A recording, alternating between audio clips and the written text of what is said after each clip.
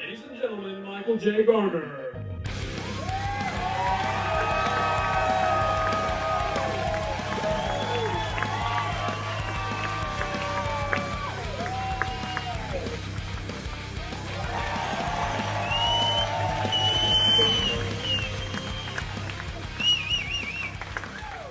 Thank you very much. Thank Oh, you. Yeah.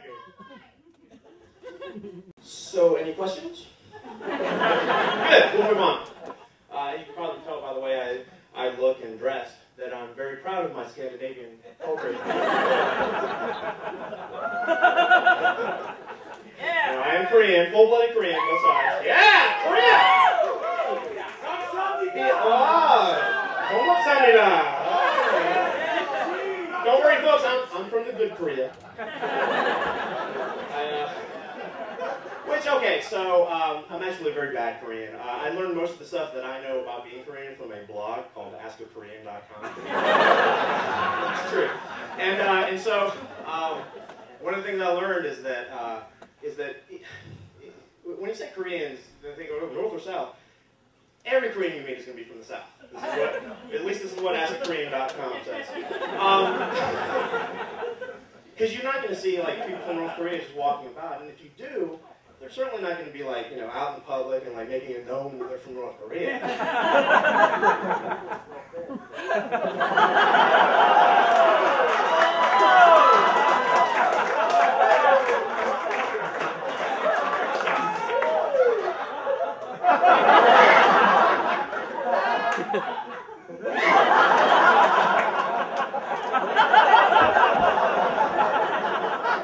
Being Asian has its perks. I've, I've been building a theory over the years, which some of you may be privy to, uh, of Asian superiority. Now, before you go off, let's look at the evidence. All enough said. Um, okay, so all your best plates. What do you call them? China. China. When uh, what's the first thing that you go to when you go to college or like a new job? Orientation. If you become disoriented, is that a good or a bad thing?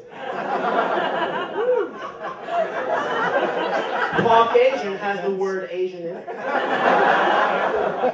Cauc being an ancient Gaelic word, which means would like to be.